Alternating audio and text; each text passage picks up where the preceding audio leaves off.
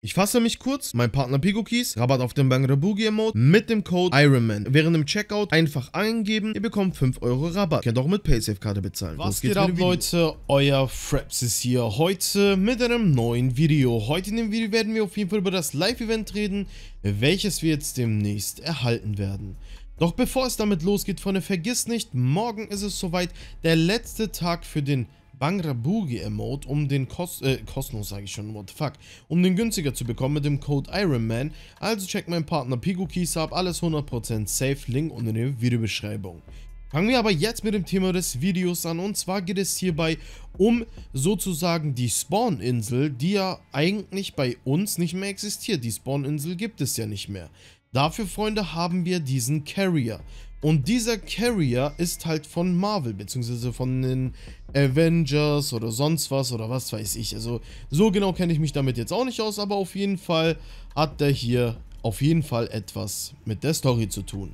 Leider, Freunde, wie gesagt, ist das Ganze jetzt hier nicht komplett geladen, weil ich ja schon raus äh, aus der Spawninsel bin. Und wenn man halt in diesem ja, Menü ist, kann man das nicht in Full HD sehen oder dahin gehen. Aber nun gut, das erfüllt auf jeden Fall full seinen Zweck. Und zwar werden wir darüber reden, was jetzt mit Galactus passiert und was auf uns zukommt. Denn es wird zu wild. Ich erkläre euch mal, was hier alles geschehen soll. Also, Freunde, das ist ja jetzt hier in-game. Und das ist ein riesengroßes Kriegsschiff, was fliegen kann.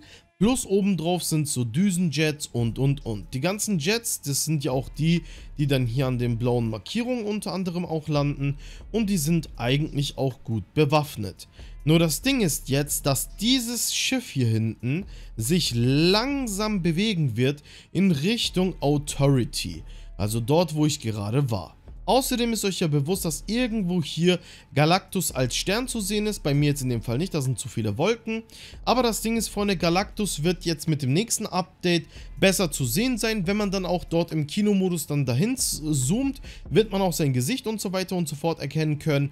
Und das Ding ist, dass dieses Schiff jetzt sich auf den Weg macht, um hier direkt über der Authority zu stehen. Also genau hier rüber.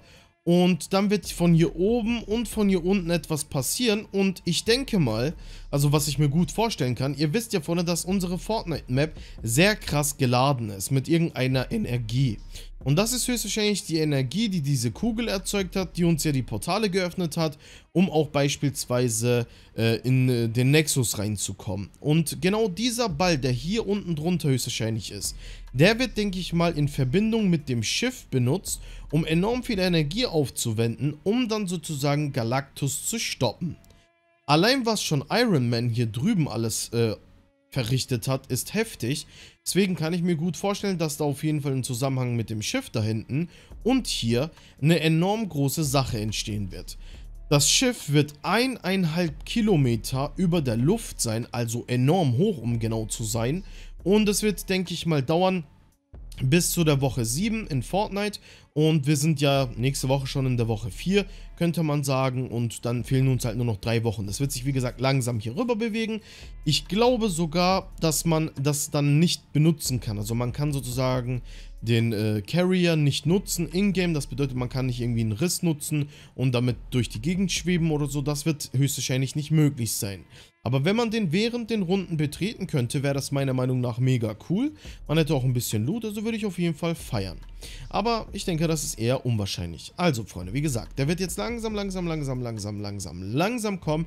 Wird jetzt direkt hier drüber stehen. Und wie gesagt, ich denke, dass sie diese Energie von dem Boden benutzen werden, um damit dann äh, Galactus aufzuhalten, weil Galactus wird sich hier auf diese Karte komplett stürzen äh, und eventuell so, ein heftige, so eine heftige Landung durchführen oder so. Oder es wird was noch crazieres passieren, aber ich weiß es leider Gottes noch nicht. Ich habe auf jeden Fall ein Bild für euch am Start, wie das Ganze am Ende aussehen soll.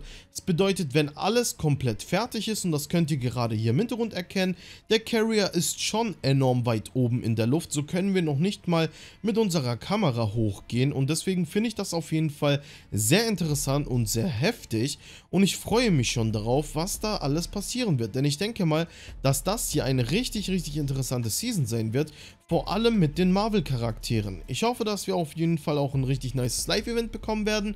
Aber das steht natürlich noch nicht äh, zur Debatte. Ich denke mal, dass das Ganze auf jeden Fall rauskommen wird. Ob es noch Map-Veränderungen geben wird, ich denke eher nicht, aber das wird sich dann mit der Zeit noch schon zeigen. Aber so weit wie die Map-Veränderungen bislang sind, finde ich die eigentlich gar nicht mal so schlecht. Und Freunde, ähm, aus den Ingame-Dateien wurde herausgefunden, dass Frenzy Farms darunter nicht mehr existiert. Leider kann ich jetzt hier nicht rein oder so, um es euch zu zeigen, aber Frenzy Farm existiert unter dieser, ja, Tony Stark, äh, ja, Insel nicht mehr. Das bedeutet, auch nach dem Live-Event wird Frenzy Farm nicht zurückkehren. Das bedeutet für uns, dass eventuell Frenzy Farm gar nicht mehr reinkommen wird. Gehen wir mal davon aus, dass die Insel hier weggeht. Vielleicht kommt dann andere Ort hin. Kann ich mir auf jeden Fall sehr gut vorstellen. Iron Man ist hier auf jeden Fall auch schon am Plan und am Arbeiten. Die Autos sind ja bereits schon geupgradet worden. Ich denke mal, dass hier auf jeden noch ein paar coole Features erstellt werden beziehungsweise entwickelt werden, weil Iron Man hat schon böse drauf und ich denke mal, dass wir da coole Superheldenwaffen bekommen werden. Ich hoffe auch auf jeden Fall, dass wir beispielsweise andere Superhelden in den Shop kriegen und sie dann so freischalten können, wie beispielsweise unter anderem Venom. Würde ich unnormal feiern, wäre auf jeden Fall ein richtig nicer Skin. Ähm, deswegen einfach mal abwarten und eventuell, also was ich so gehört habe, was vielleicht passieren könnte, wie ihr vielleicht wisst, vielleicht aber auch nicht, aber ich erkläre euch das Ganze genau mal. Ähm, Spider-Man ist aktuell für die PlayStation 4 exklusiv. Das bedeutet, es besteht eine Möglichkeit, dass ein PS Plus Paket rauskommt für Fortnite, wo wir eventuell Spider-Man oder Venom in-game erhalten, weil sowohl Spider-Man als auch Venom sind äh, Sony-Besitz. Das bedeutet, die können das Ganze so kooperieren, dass es als PS Plus Paket ins äh, Spiel reinkommt, was mega, mega heftig wäre. Aber das wird sich alles noch herausstellen. Ich bin auf jeden Fall des Weiteren so gespannt. Wie ich schon gesagt habe, der Carrier wird sich langsam hierher bewegen zur Authority.